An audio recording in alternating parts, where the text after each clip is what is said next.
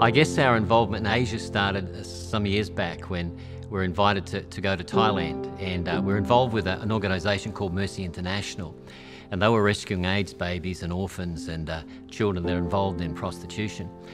And we built a house that rescued children and, and started taking teams. But we were in Bangkok one year and uh, we, we loved the organisation we were working with, but God spoke very clearly uh, to me as I was in prayer and basically said that you're going to do the same.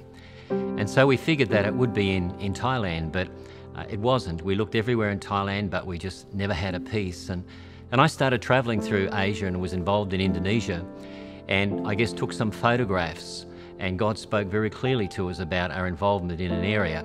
And then this is where we started in Asia at a little place called Silamosik. When I'd first had the vision come from God, the, the details were so distinct and so clear each time the, the high mountains and the river and the, the valleys and these strange little houses that I believed that if God had given that vision in such detail twice, that there was actually a location. And so we'd looked often in Thailand, but nothing had ever opened up. And Mike came home from Asia and he had taken lots of photos and one day I walked into the office and they were the, the old-fashioned photos that you got developed and he put them across the table and they sort of fanned out as he threw them and the interesting thing was I just looked at these photos and and he said, what's wrong? The colour's drained out of your face. What's wrong? And I said, where is this place?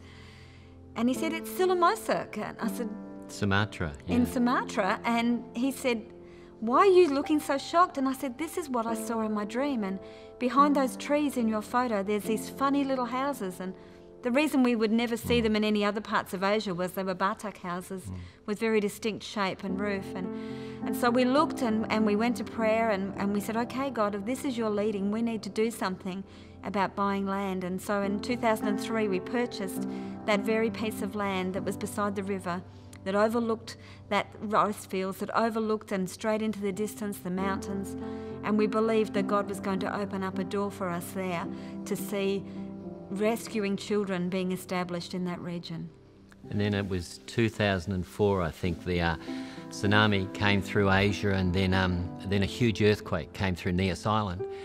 So, as a church, we decided that we would do something to help. We'd already helped in in Thailand, but now we're in Indonesia, and so we went to Nias Island. I took one of the, a doctor in our church and we took food and we took blankets and we took tents because the whole island was devastated.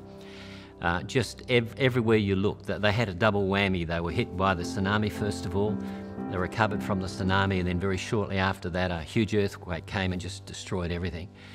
And so when we were there we saw so many children that were in need and we saw so much that could be done but not a lot was being done. Most of the World Aid was going to Aceh, nothing was going to, to Nias Island. And so we came back, we shared with our church, found out the need there, and then we went in and we, we decided we'd, we'd try and do something to help rescue children. There was something like 4,000 orphans on this one island with no hope, no future. And so that kind of broke our heart and God spoke to us, particularly through the vision that Anne had was rescuing children. And here we were just surrounded by so many children in need.